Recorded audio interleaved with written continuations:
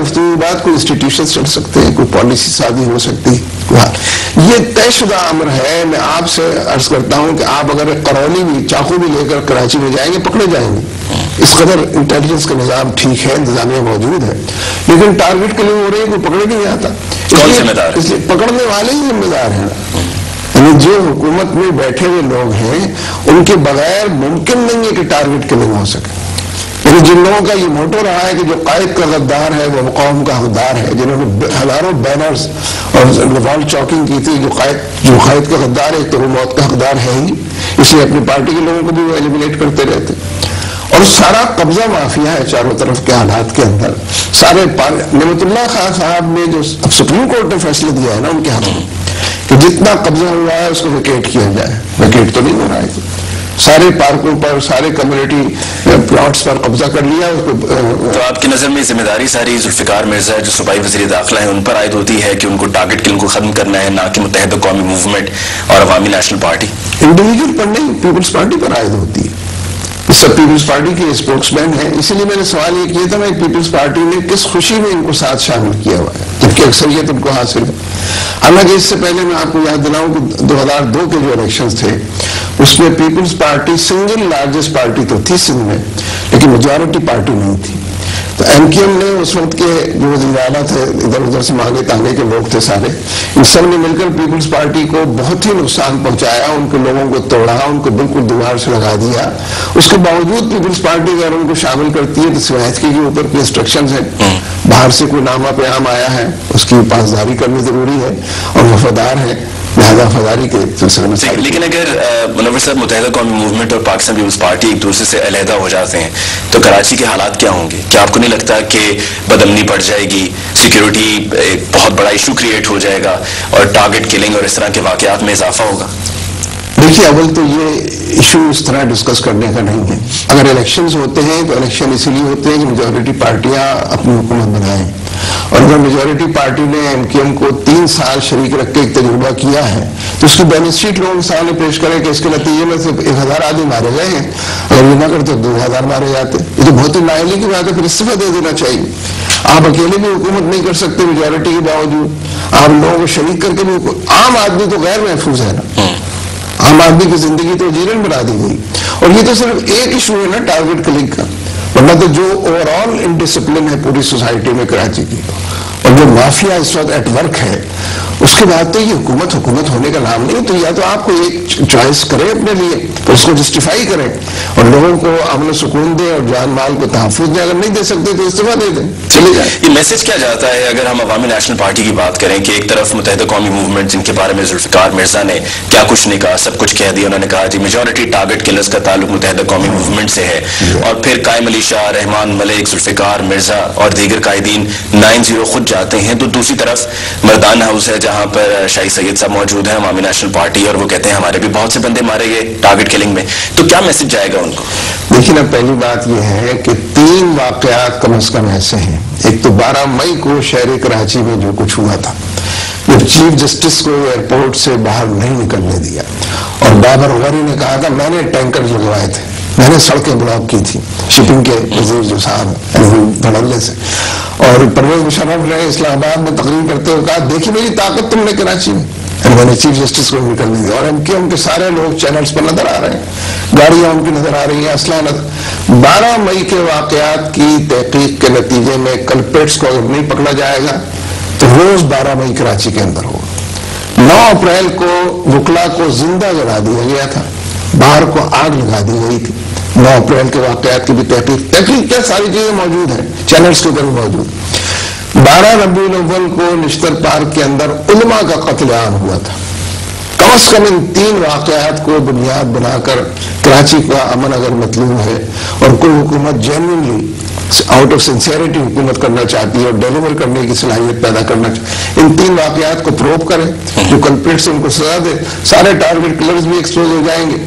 और सारे बदमनी फैलाने वाले। अगर नहीं करते हैं तो इसका मतलब इंटेंशन नहीं है। ठीक मनोवर साहब अगर ये देखा जाए कि जो काफ़ी हद तक बात सुनने भी आती है जब टारगेट किलिंग की बात होती है कि जी अवामी नेशनल पार्टी और मुतहदा कौमी मूवमेंट की एक दूसरे पर इल्ज़ाम तराशी और एक दूसरे का कत्लेआम करना इससे तीसरी किसी जमात को फ़ायदा हासिल हो रहा है। अगर ऐसा है तो तीसरी जमात कौन सी हो सकती है? पहली बात तो यह है कि अवामी नेशनल पार्टी की कोई हैसियत नहीं है कराची में। ये कुछ लोगों ने बाइकाट किया, कुछ लोग नहीं थे मौजूद तो एक आध सीट का ले लेना कोई बेमानी बात है बिल्कुल। कोई अवामी ताहिद उनको हासिल नहीं, न कभी रही है, न नमाजी करीब में नमाजी बईद में एक अच्छी सियासी जमात है जिसका हम एहतराम करते हैं, जिसके कारकुनों का हम एहतराम करते हैं, हमारी बड़ी दोस्तियाँ हैं। लेकिन कोई सियासी वज़न उनका कराची के अंदर न कभी था, न है, न आइंदा कभी होगा। इसलिए खाम खा उनको दखल दर माकूलात वाली बात है कि उनको शरीक मजलिस किया जाए और शरीक गुफ्तु उनको लाया जाए। तीसरी कुत जो लोग ये कहते हैं ना कि तीसरी कुत को फ़ायदा पहुँच रहा है। पहले तो वो अपने क्रेडेंशियल्स बताए कि वो खुद क्या है। वो नाहल लोग हैं, या वो गाफिल लोग हैं, या वो किसी से मिले हुए लोग हैं, या वो दुश्मन के एजेंट हैं। उन्हें पता है कि तीसरी कुत को फ़ायदा पहुँच रहा है तीसरी कुत को कुछ कहते नहीं रहमान मलिक भी ये बात कहते हैं, दूसरे लोग भी ये बात कहते हैं, और वज़ीर दाखिला होकर कहते हैं। तो अगर वज़ीर दाखिला ही कहता है कि तो तीसरी कुत को एक्सपोज करें। या फिर वो तीसरी कुत का नाम बताए कौन है? ये असल में मामला को डिले करने के लिए मामला को मख्फी रखने के लिए और अनरिजॉल्व रखने के लिए इस तरह के बयान देने की ज़रूरत होती है। रहमान मलिक का तो एक बयान तयशुदा अमर है, आप पिछली फ़ाइल पूरी उठाकर देख ले, एक दर्जन मरतबा वो एक ही बयान है। देखिए, मैं आपसे अर्ज़ करूँ, आशूरे के दिन कराची में शियों के जुलूस पर जो हमला हुआ था within twenty four hours Rehman Malik ने बयान दिया कि वो हमें सर मिल गया है दहशतगर्द का खुदकुश बॉम्बर का सर मिल गया है और ये खुदकुश को हमला था अगले दिन अहले तशैय ने कहा ये तुम्हारे कारकुन का सर है कि कैसे आप कहते हैं हमने उनको उसको क्लेम कर ली आज तक माफ़ी नहीं मांगी रहमान मलिक ने कि मैंने गलत बयान दिया था मैंने वक्ती और हालात का ये खुद कुछ बॉम्बिंग कहकर अपनी ज़िम्मेदारी से बड़ी जिम्मा हो जाते हैं। तो नाइली भी इसके अंदर दाखिल है लेकिन एक पूरा पीछे मैं समझता हूँ एक लाइन ऑफ़ एक्शन है कि जिसको मुताबिक लोग चल रहे हैं। ठीक है। अब देखिए वज़ीर तब्दील हुए हैं करंट वज़ीर सबसे आगे जिनके बारे में सारी दुनिया कहती है। यानी बदबान हाल भी और बदबान काल भी खल के खुदा इसकी चेहरे नए हैं बाकी सब चेहरे वही हैं। बराबर साहब आपसे गुफ्तु को हम जारी रखेंगे। व्यूअर्स इस मौके पर लेते हैं एक और वक्फा। वक्फे के बाद लौट कर आएँगे तो जो हमारे मुल्क के अहम नेशनल इशूज हैं जिसमें दहशत गर्दी सर फहरिस्त है और साथ में हमारी इकनॉमिक सूरत हाल जो माशी बदहाली का हम शिकार हैं इस पर बात होगी। देखते रहिए पाकिस्तान आज रात।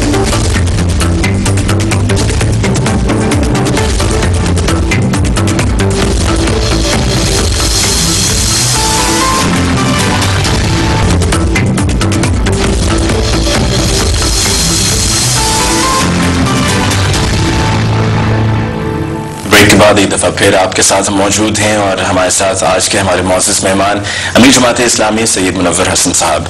ब्रेक से पहले जो बात हो रही थी, उसी को आगे बढ़ाते हुए मुनवर साहब हमारा नेशनल इशूज़ की अगर हम बात करें, माशी बदहाली है, दहशत गर्दी है, अमनो अमान की बिगड़ती हुई सूरत हाल है। अगर हम दहशत गर्दी पर पहले बात करते हुए आपसे जानना चाहेंगे कि क्या आपकी नज़र में ये हुकूमत का फेलियर है? क्या हमारी सिक्योरिटी एजेंसीज का इंटेलिजेंस एजेंसीज का फेलियर है? या कोई और तीसरी वजह है कि जिस वजह से हम इससे छुटकारा नहीं हासिल कर पा रहे। असल में अगर हम सिक्योरिटी एजेंसी और फला फला का ज़िक्र शुरू कर देंगे तो ये तो फुटनोट्स का ज़िक्र करेंगे। टेक्स्ट के अंदर बात करनी ज़रूरी है। इस पूरे रीजन में ये जो वार ऑफ़ टेरर है, ये हमारी जंग नहीं है। एकेडमिकली ओरली भी ये ऐसा है, और प्रैक्टिकली हम लोगों ने अपने तजुर्बे से इसको समझ लिया है कि ये जंग अमरीका की जंग है। हम पर मुसलत की गई है, हम उसमें बिना वजह फ्रंट लाइन स्टेट बन गए हैं। और उसी जंग के नतीजे वार ऑफ़ टेरर के नतीजे में ड्रोन हमले भी हो रहे हैं। उसके मातहत हैं उसी वार ऑफ़ टेरर के नतीजे में मिलिट्री ऑपरेशन हो रहा है, ये भी उसके मातहत है और दूर और उसके अलावा है कि रोज ये डायरेक्शन मिलती है कि आप जनूबी के बाद शुमाली में करें शुमाली के बाद जनूबी पंजाब में करें, ये डायरेक्शन मौजूद। तो इसलिए दहशत गर्दी इस मुल्क में हमारात की फ़ाइल उठाकर देख ली जाए तो अंदाज़ा होगा कब कितनी थी, ये नहीं थी, ना होने के बराबर थी। उसको मल्टीप्लाई हमने किया है यानी मैं आपको याद दिलाऊं कि चीफ ऑफ़ आर्मी स्टाफ ने जब सवाद बुनेर में ऑपरेशन शुरू किया था रिकॉर्ड और 10-12 मरतबा उन्होंने रिकॉर्ड पर यह बात कही कि हम इस मिलिट्री ऑपरेशन के नतीजे में दहशत गर्दी को जड़ से उखाड़ कर फेंक देंगे उसका कला कमा कर देंगे। कमर तोड़ देंगे कमर तोड़ देंगे।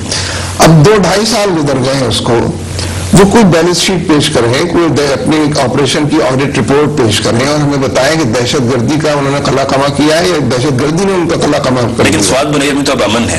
है? स्वात में बुनेर में तो अब अमन है कोई भी जाना चाहे वहाँ फिर फौज वापस क्यों नहीं आ जाती? अब जनूबी वजीरिस्तान में फिर आईएसपीआर को प्रेस न्यूज़ पे क्यों ज़िंदा है लोग? यानी बुनेर का अमन तो आप इतला देंगे तो हम मानेंगे ना। आईएसपीआर की बात तो हमने ना अगर आई आईएसपीआर ही का प्रेस रिलीज़ आज भी वैलिड है और अब भी आप चले जाए, आप जा ही नहीं सकते अमल तो वहाँ पर। जाएँगे तो लाशें लटकी आपको नज़र आएँगी, इतनी बड़ी बड़ी दाढ़ी वालों की।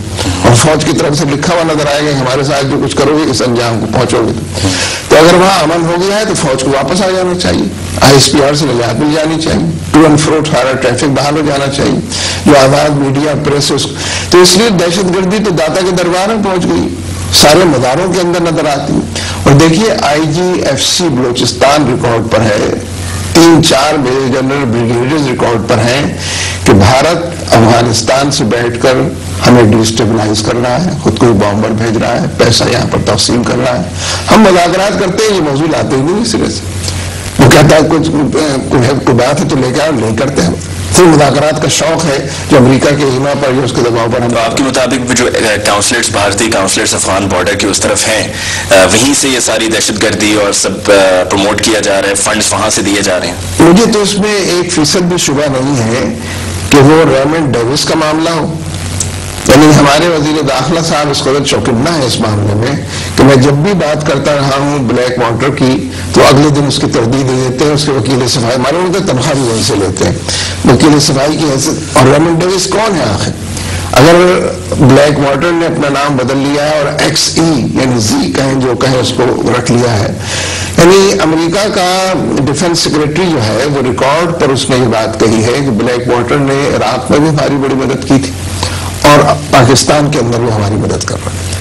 वो झूठा हो सकता है हमारे वज़ीर दाखिला साहब सच्चे हैं कि उसका वजूद ही नहीं है यहाँ पर तो इसलिए दहशत गर्दी को तो हमने इन्वाइट किया है दहशत गर्दी को तो हमने खुद ओढ़ दिया है। तो फिर आपकी नज़र में ये हमारी इंटेलिजेंस एजेंसी का फेलियर नहीं बल्कि उन हुकूमती खारजा पॉलिसियों का फेलियर है। मुतन बात यही है जो आपने फरमाई है।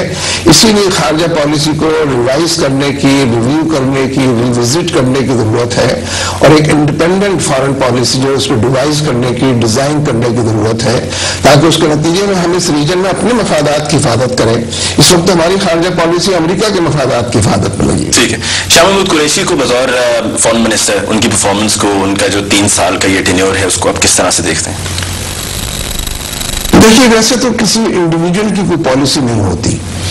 और शाह महमूद कुरैशी की भी कोई अपने, वो प्रेजेंटेशन उनकी हो सकती है। किसी पॉलिसी को लेकर चलने का एक स्टाइल हो सकता है। एक जिस लबो लहजे में बात करते थे, उसके ऊपर गुफ्तु हो सकती। है पॉलिसी तो उनकी नहीं थी। पॉलिसी तो वही पीपल्स पार्टी की और उसकी हुकूमत की थी, जो बाकी दायरों में नज़र आती है, कश्मीर के बारे में नज़र आती है, भारत के हवाले से भी नज़र आती है और अमरीका के साथ डील करने में नज़र आती है। शाह महमूद कुरैशी उस पॉलिसी के बहुत अच्छे वकील थे, जो पॉलिसी पीपल्स पार्टी की थी, और जो प्रो पाकिस्तान कम थी प्रो अमेरिका और प्रो भारत ज़्यादा पॉलिसी थी। उसके सारे फवाद जो थे बेनिफिशियरी जो थे, वो भारत अमेरिका थे। तो अब अगर वो उससे इतराफ करते हैं तो वो अपना पार्टी का मामला है। लेकिन वही शाह महमूद कुरैशी आपने कहा कि pro America pro Bharat policy थी। वही अब पाकिस्तान की बात करते हैं। वही कहते हैं कि अब सर झुक के नहीं, झुका के नहीं, बल्कि सर उठा के जीने का वक्त है। और अब वो पाकिस्तान की बात कर रहे हैं। वैसे तो ये हमारे महाशय का अजीब अलमिया है। जितने सबक फौजी इतने अच्छे बयान देते हैं, रोज इतने अच्छे मजमून लिखते हैं। जिस वक्त वो इन सर्विस थे तो जो कुछ करते थे सबको हथियार डाला करते थे। नब्बे हज़ार की तादाद में हथियार डाले जिन लोगों ने। पूरे मुल्क की हिफाजत ठीक से नहीं कर सके। लेकिन जैसे वो रिटायर होते हैं हब्बुलबतनी भी औत कराती है। इस्लाम से इश्क, ताल्लुक और मोहब्बत भी। और अवाम के भी बड़े गर्विदा नज़र आते हैं। काश इसका थोड़ा सा हिस्सा वो उस वक्त बढ़ते जब वो सर्विस में होते हैं। तो इसलिए शाह महमूद कुरैशी आज अगर कुछ करेंगे तो उनको पहले पीपल्स पार्टी से अलहदगी का ऐलान करना चाहिए फिर कुछ करेंगे तो यकीन आएगा कि वो जी ऐसा तो नहीं उनको इस्टेब्लिशमेंट की तरफ़ से तबकी है कि आपने जो कहना है कह दीजिए और उनको वहाँ से चूँकि वो सपोर्ट हासिल है तो इस तरह से वो जहाँ भी जाते हैं किसी भी महफिल में किसी भी तकरीब में तब वो पाकिस्तान की और हुकूमत खिलाफ बयान दे रहे हैं। असल में वैसे बेमानी बातें हैं ये यानी जुल्फकार अली भुट्टो का भी तो यही था ना।